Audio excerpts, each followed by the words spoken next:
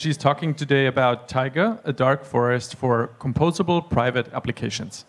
Take it away. Um, thanks. Uh, so yeah, I'm going to talk about Taiga. And first of all, I'm going to introduce you the Taiga team.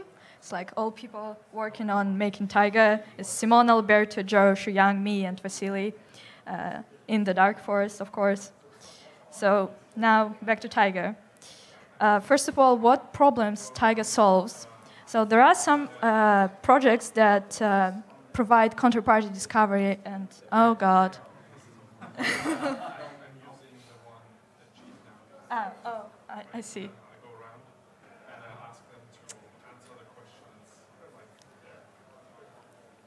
Yeah, so, no. Okay. Yes? Yes, yes. So there are projects that provide counterparty discovery and atomic matches like OpenSea. So like users can find other users to um, transact. And there are projects that provide shielded state transitions like Zexe. So you can do arbitrary state transitions, but privately. And Taiga kinda is. Uh? No? Okay, I'll just continue talking. Uh, and Taiga is kind of in the intersection of these projects, but also on top of that, Taiga provides private account abstraction. It might sound like complicated, but private account abstraction basically means that users can choose how to authorize their transactions, uh, like signature or whatever they want. They can specify it. So for people who are familiar with ANOMA, what is the relationship between Taiga and ANOMA? Well, Taiga is a privacy-preserving part of ANOMA that takes care of shielded state transitions, but it also can be used as a standalone component with uh, separate uh, storage. And uh, Taiga overview. This is like the, the word is slide of the presentation, so, but like, it's not going to be like that. But if you need like one slide overview what Taiga is, it's this. Uh, so uh, starting from the first point, it's an operating system for distributed applications, as the talk description says. So it means that uh, users of Taiga can build applications on top of Taiga, and Taiga makes sure they uh, work correctly, as they should. Just like normal operating system has applications. Uh, Taiga is shielded, meaning that it provides both data and function privacy. Uh, yeah, private account abstraction, as I mentioned, is that users define their own rules. And as many other privacy preserving projects, it's UTXO based. So every transaction on Taiga is a, a list of input and output nodes. So nodes will be like an important thing in this talk. And Taiga also uses the notion of validity predicates, which are basically declarative smart contracts. So in uh, more like well-known smart contracts, you just write down what to do and uh, it just executes, right?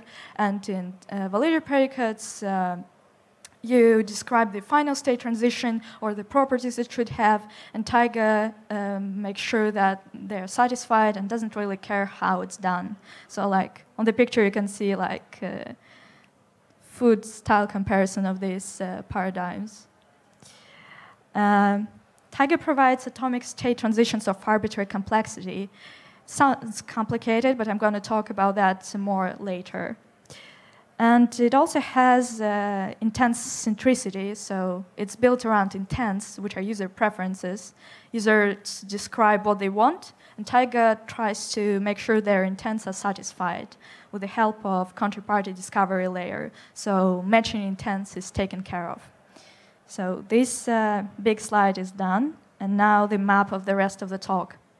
So there will be three like main sections First one is what are Taiga applications. Next one is how to achieve atomic state transitions. And the next is uh, how Taiga achieves data and function privacy. First one, Taiga applications, very short one. So there is a shielded pool of nodes, UTXO model, right? And all of these nodes like uh, floating around there. And uh, applications are basically the things that tell users what is allowed to do with these nodes and what is not allowed. So an application contains two main parts. It's application state and application logic. Application state is built from all of the nodes the application uh, owns. And application logic is expressed as a validator predicate. So basically, you can say that validity predicate uh, of the application defines the application. So application, it's a state and logic, right? Now talking about atomic state transitions of arbitrary complexity. Uh, in case you don't know what does it mean uh, to be atomic, so many systems, when they want to provide uh, transactions of arbitrary complexity, they can't really achieve it in one transaction. So there are like many, many transactions. There is a sequence of transactions to achieve a certain state. And this is not like super good because uh, the system can like end up in the intermediate state if something goes bad, and like we don't want that. So in Taiga, we make sure that um, there is just one transaction that takes uh, the state to the desired one. And uh, if something goes bad, it stays in the initial state. So like the worst case scenario is that nothing changes. So here's the recipe for atomic state transitions. It takes three components, partial transactions, intent application, and solvers. But you don't know what it is right now, so I'm going to explain. Partial transactions. Well, first of all, what is a valid Taiga transaction like a normal one? It has to satisfy two properties. First is that validity predicates of all uh, involved applications are satisfied. What does it make an application to be involved is that if transaction tries to change the node that belongs to an application, application needs to approve it. So we need to make sure that all changes are authorized by validity predicates of these applications. And the second one is that transaction needs to be balanced, which means that, um, well, all nodes, they carry some numeric value. In some applications, it can be more natural, like, uh, you know, cryptocurrency application, uh, just value like five ether is like just five ether, right? But in some applications, it can be more abstract, but all nodes have value. And uh, a balanced transaction is a transaction is when yeah, is a transaction when uh, for each application type, the total value of input nodes equals the total uh, value of output nodes. Well, it's a little bit more complicated than that, but I'm just omitting the uh, details here. It's not that important. And yeah, so valid transaction, validity predicates are uh, satisfied, and it's balanced. And such transaction can be published on the blockchain. Um, so a partial transaction is uh, just a normal transaction, but it's not balanced. And because it's not balanced, it cannot be published on the blockchain. But validity predicates must be satisfied, right? So the uh, quick idea of what we want to achieve is that we want to combine uh, partial transactions together until uh, their total value is uh, balanced and uh, then we can publish it on the blockchain as a single transaction. So you can see on the slide that there are two partial transactions. Uh, both have uh, validity predicates satisfied, but they're not balanced in the gray application type. But if we combine them together, it's all balanced and everything is nice. But we don't know how to do that uh, yet. So the next one is the intent application. Intent application is just an application that uh, works in a certain way, right? So uh, the user who wants uh, the intent to be satisfied, uh, they send the intent to the intent uh, gossip network and they add intent application node to their intent. And while this intent node exists, the transaction cannot be balanced because the amount of input nodes of this application doesn't match the amount of output nodes. We created this node, but not destroyed, right? So in the next step, Alice, here it's Alice, receives what she wanted, and she can destroy uh, her intent node. And uh, her part of the transaction is balanced. And once all of the users in this transaction uh, destroy their intent nodes, uh, the transaction is balanced and can be published on the blockchain. So basically, intent application makes sure that the transaction is not balanced until uh, the intent is satisfied. And the last, uh, the last thing in the recipe is solvers. And solvers are basically the actors who make everything possible. They uh, build transactions, receive intents, and merge them together. Uh, so to create atomic transaction of arbitrary complexity, solvers, uh, when they receive uh, partial transactions and partial transaction sets, what I call is like not really official name, they combine them together and update these sets of partial transactions until it's all balanced. And once it's balanced, they can publish it. So like to summarize, three things, partial transactions, intent application, solvers. Partial transactions cannot be uh, published on the blockchain. Intent application makes sure that uh, transactions are partial as long as the intent is not satisfied. And solvers try to update this transaction until it's satisfied. So altogether, it allows to create atomic uh, state transitions of arbitrary complexity.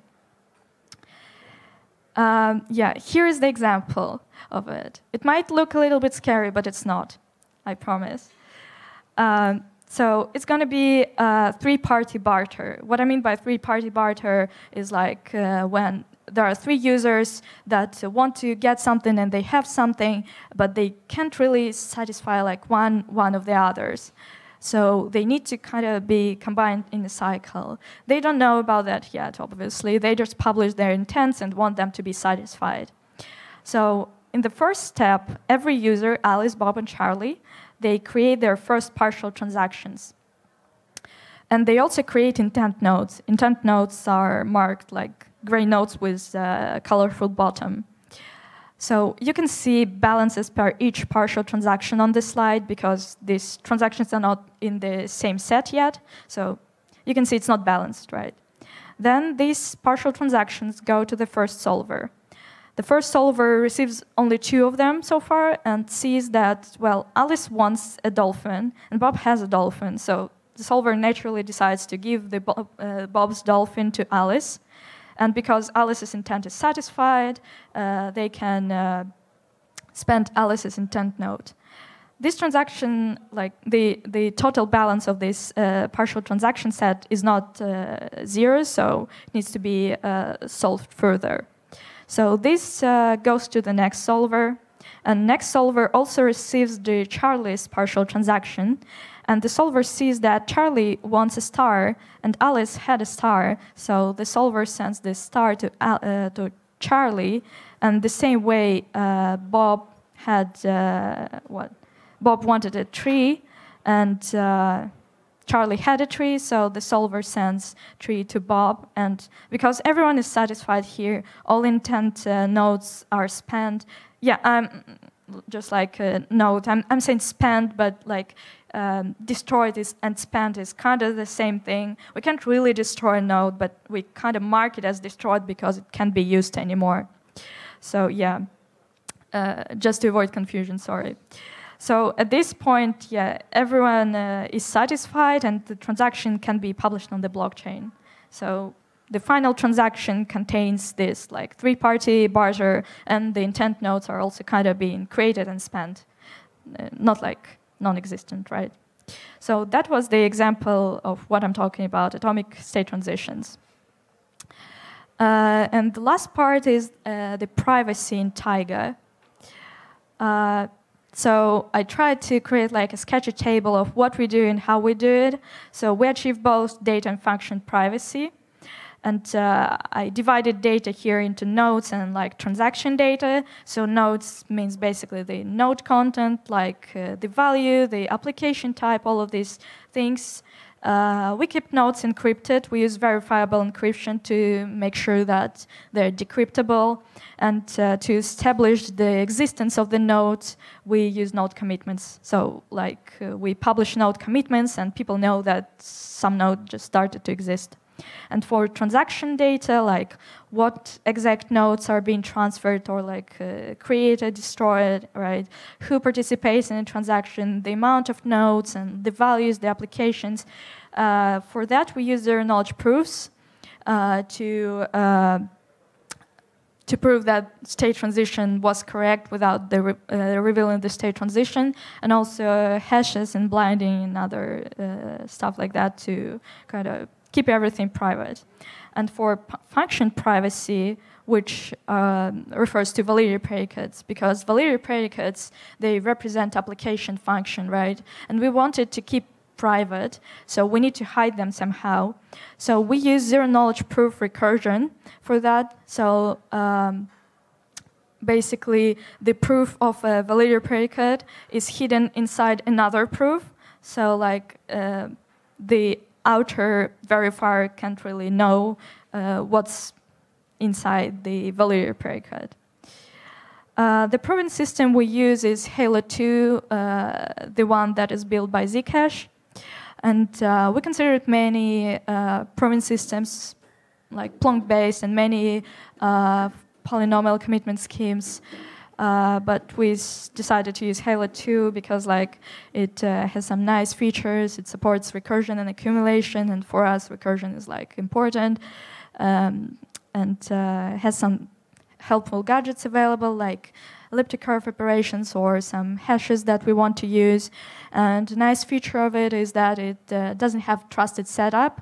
So like when you have a lot of circuits, uh, it's kind of like cool feature for us. Uh, so the current stage of Taiga is that there are still uh, many details to be um, confirmed. So uh, the details might be like not decided on yet, but I would say the design is pretty solid right now. So if you want to check it and check how we use Halo 2 and check uh, how we do everything, you can go to the uh, repo and check it, github.com slash anoma slash taiga. And the future of Taiga uh, is bright. uh, yeah, so uh, eventually, I think we are planning to unify all of the execution environments, uh, public environment, shielded environment, and private into single one, um, which is like uh, long-term plans, right? Because like fully homomorphic encryption, um, complicated. And uh, we probably also want to have a closer integration with Ferveo, which is another product we're developing. Um, so we could prove correspondence between private state and uh, the data encrypted to Ferveo using zero knowledge proofs. So basically, Ferveo is for like encrypting transactions so that you couldn't order them like in a sneaky way and just like not be biased, right? So if we could prove correspondence between private state that is like fully homomorphic encryption and data uh, encrypted to Ferveo, it could be cool, right? Uh, right. Uh, so that's uh, basically it. Uh, thanks for listening. And if you have questions or you want to send me an email, uh, send me an email. Or if you want to, I don't know, talk, talk to me. So yeah, I'm open to discussions. Thanks.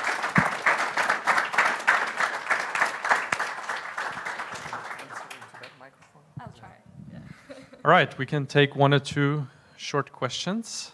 Anyone? Yep. Oh, questions.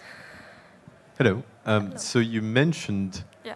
um, intent application, intent nodes. You said uh, solvers checking whether an intent was satisfied. And uh, you said something else again. Uh, but all this, my question is simple. What is an intent? Oh, yeah. Well, In very simple terms. Intent, uh, in on like technical level, it's a validity predicate.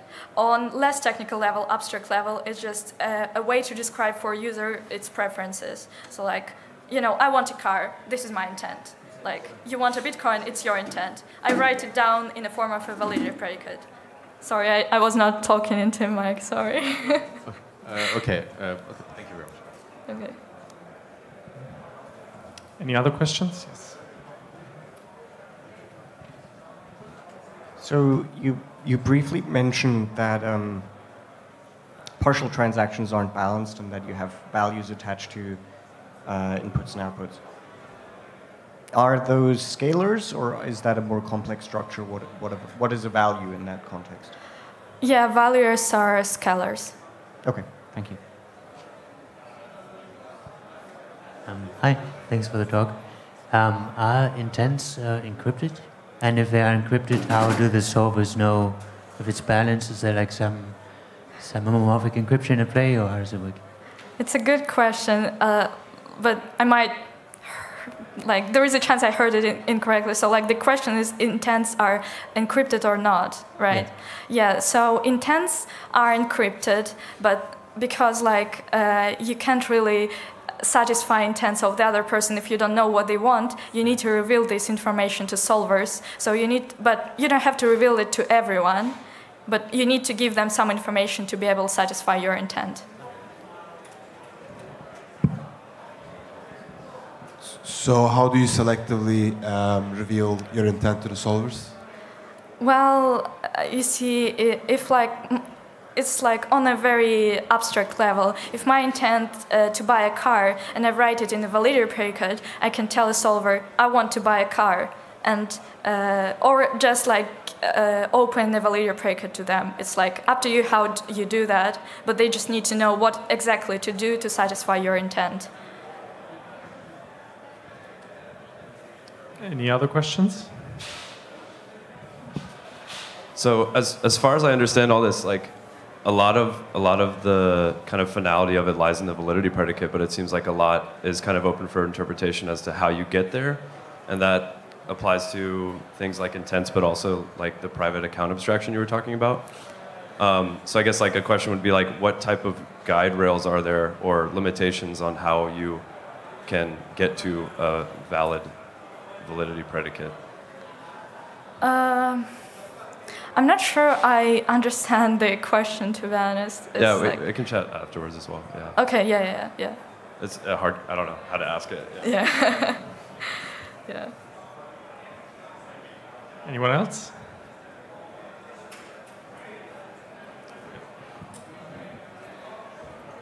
do the provers make any like intelligent choices about what intents they're trying to accumulate, or do they just accept any of the intents that get out there? It's up to the solvers. They like we don't specify that solvers can define like what they want, what they don't want. It makes sense for solvers to be like uh, kind of you know be related to some application. So, for example, me as a solver only accept intents that are related to some, I don't know, uh, Sudoku application, like people who want to solve Sudoku or something, you know, something like that. Thank you. Okay, last question. Yeah, thanks for the presentation. I mean, don't want to get into the loop of encryption of intent and, and everything. We can keep on uh, speaking about it, but just, I think that's what we're here for, but just to understand who would be kind of your competitor or colleagues in the space, just to have a better kind of idea of, of what you guys are doing and how do you mainly differentiate yourself. Probably I've missed it, but I think it's the, great occasion to ask it here. Uh, just to check I've understood correctly, who are the competitors of Taiga? Yeah, kind of, yeah, okay. of what you're doing, who kind of give the same value proposition, and uh, yeah, how do you differentiate yourself? Well, um, hard to say. Like, uh, let me open the slide quickly. Uh,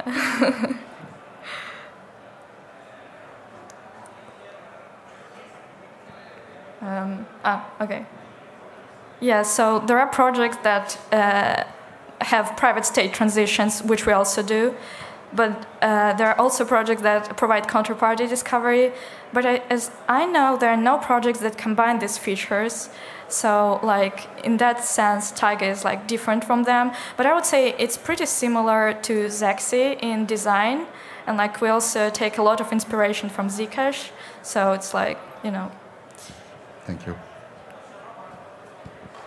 All right, I'd say let's wrap up this session. Let's thank Julia again.